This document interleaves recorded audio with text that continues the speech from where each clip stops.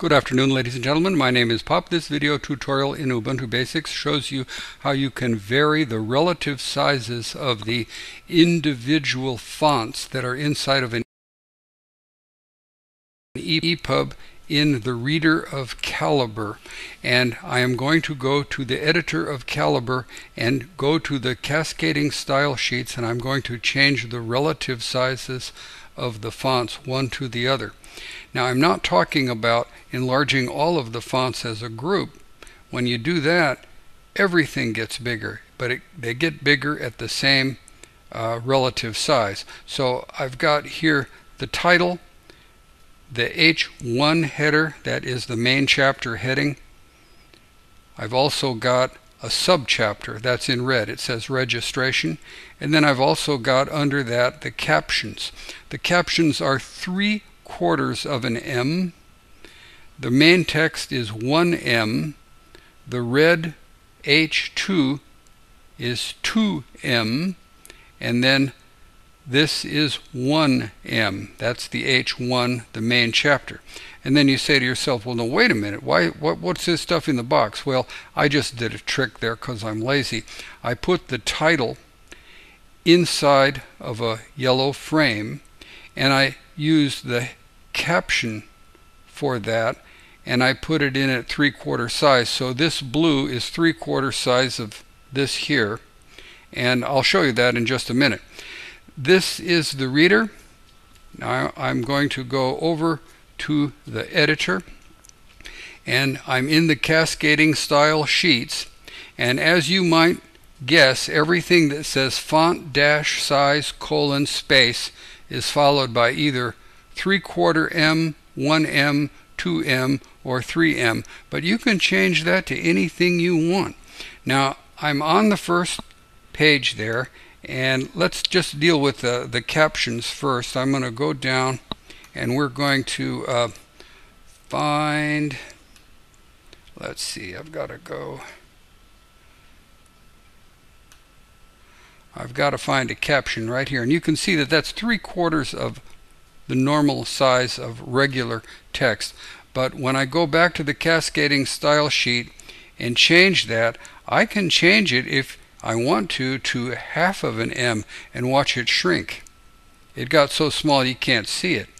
Or how about I just change it to 1M and now it's going to be the same size as regular text but it looks darker. You see I've got italic and I've got bold and that's fine. I mean if you like it like that you can do it that way. If you go to the top now you'll notice that the blue up here in the title is the exact same size as the H1 heading. And that's because the stuff up here inside is actually uh, set as a caption. And so it got bigger. And you'll notice that the frame is nicely configured around the title because it stops right here but it's not half of a screen either. So I want to show you there what is going on. We're going to go to that and I have got the size of the frame as frame left auto. And auto is the key. And if we go down here to frame left I've got it as an A FLA dot FLA and let me find it FLA is dot FLA and the width is auto but I also have one that's F100. There's no sense giving it an L or an R because 100 is all the way across the screen. So watch what happens when I change that value in FLA to F100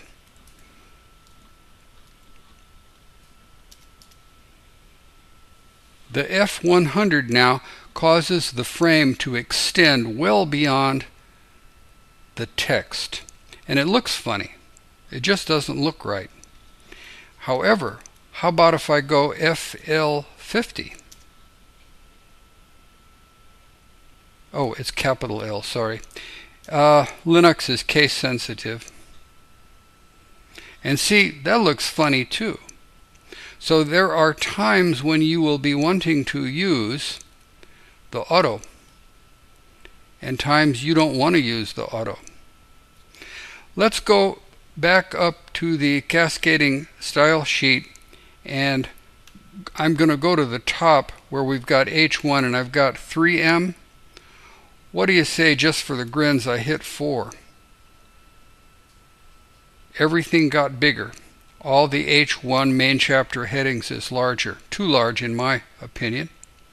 And if I go to the H2 where it says uh, 2M, you know, you can do a half of one, eight, uh, 1.5 M, and it'll get smaller, but not too small. It's up to you. But this is a very quick way for you to change the fonts around.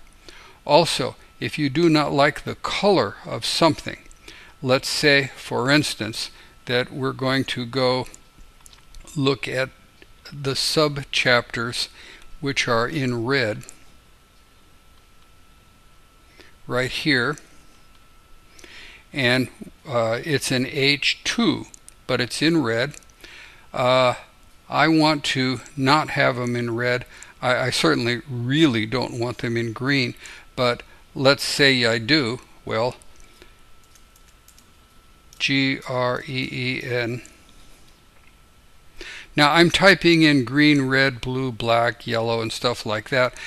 You can of course also put in the uh, more complicated hex numerical, alphanumerical system, but th these are quick and dirty. My name is Pop, and I hope you enjoyed this. I thank you very, very much.